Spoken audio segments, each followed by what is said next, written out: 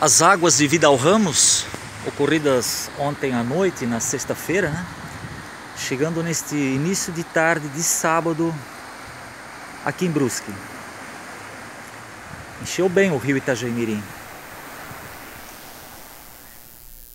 Foram uh, 40, 48, 48 milímetros registrados uh, na sexta-feira e 45 milímetros registrados na madrugada deste sábado lá nas cabeceiras do rio Itajaimirim, em Vidal Ramos.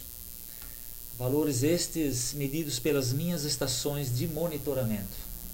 E o resultado está aí, ó. É o nível do rio acima do normal. Um cenário, por sinal, bem diferente daquele observado há uma semana. Né?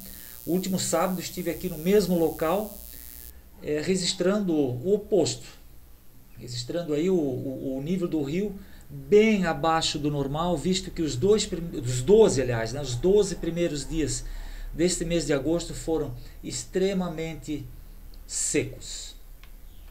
E o resultado está aí. Ó. Brusque também recebeu bons volumes é, nas últimas horas.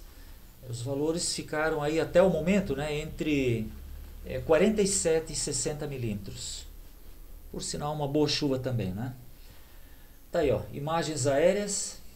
Temos aí a, a direita do, do, do vídeo, né? O bairro Rio Branco.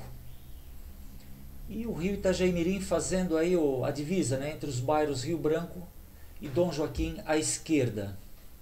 E já vamos focalizar aí. Vamos dar um, um 360 graus aí. Tá aí, ó. Mais abaixo o Ribeirão do Cedro. Temos aí a Avenida Dom Joaquim.